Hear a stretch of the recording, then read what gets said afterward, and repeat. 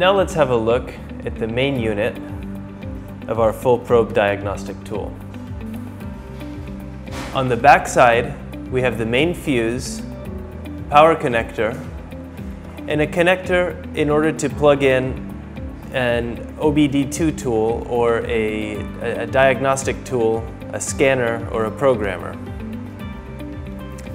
On the front side, we have a connector for actuators, which allows us to test throttle control or we can test injectors. Connectors 1 and 2 allow us to connect to a fuse box or to an engine control unit and the USB plug, which allows us to connect to the control software on our computer.